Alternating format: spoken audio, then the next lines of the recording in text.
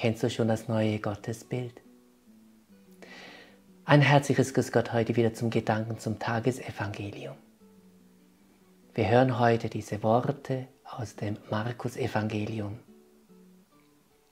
Als die Schriftgelehrten, die zur Partei der Pharisäer gehörten, sahen, dass Jesus mit Zöllnern und Sündern aß, sagten sie zu seinen Jüngern, wie kann er zusammen mit Zöllnern und Sündern essen? Jesus hörte es und sagte zu ihnen, nicht die Gesunden brauchen den Arzt, sondern die Kranken. Ich bin gekommen, um die Sünder zu rufen, nicht die Gerechten. Der Evangelist Markus offenbart uns ein neues Gottesbild. Gott kommt als Messias nicht dazu auf die Erde, wie es damals viele Juden erwarteten, um alle Sünder zu vernichten oder sie streng zu bestrafen. Nein, er kommt als guter Hirte, der jedem Einzelnen nachgeht, auch uns um uns alle zur Umkehr zu bewegen und für die Ewigkeit zu retten. Sehr berührend sind dazu die Worte, welche die heilige Schwester Faustine von Jesus vernahm. Wie sehr sehne ich mich danach, Sünder zu retten. Die größten Sünder würden zu großer Heiligkeit gelangen, wollten sie nur meiner Barmherzigkeit vertrauen. So schreibt sie selbst, möge an Gottes Güte niemand zweifeln, auch wenn seine Sünden schwarz wie die Nacht wären. Gottes Barmherzigkeit ist stärker als unser Elend.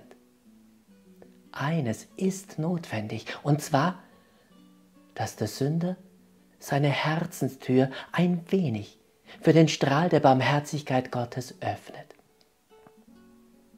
Das Übrige wird dann von Gott erfüllt. Und wie öffnen wir unsere Herzenstüre? Wir öffnen sie am besten in der heiligen Beichte, wo Jesus selbst auf uns wartet.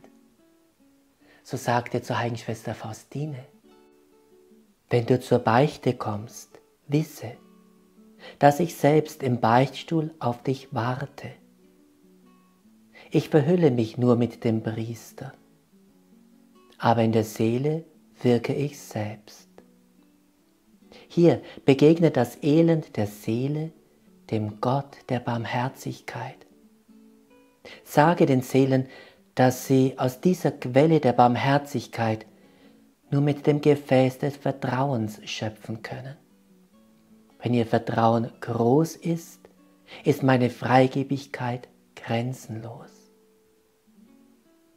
im Namen und in der Kraft Jesu Christi von Nazareth, der uns als guter Hirte nachgeht und auf den rechten Weg führt. In der Kraft des Glaubens der heiligen katholischen Kirche, wo Jesus uns in den heiligen Sakramenten seine unendliche Barmherzigkeit anbietet.